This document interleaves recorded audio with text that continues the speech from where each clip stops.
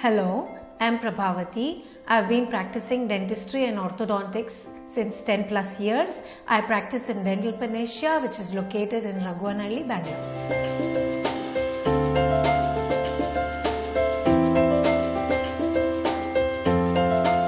Normally, the lower teeth are covered by the upper teeth. So, in cross bite, the upper teeth will be behind the lower teeth. So, single tooth cross bite means the upper tooth, one single tooth, will be behind the lower teeth. Now, in braces, we attach bracket to each and every single tooth, which acts like a handle for us to hold the tooth and bring that tooth out into the alignment and correct the single tooth cross bite very effectively.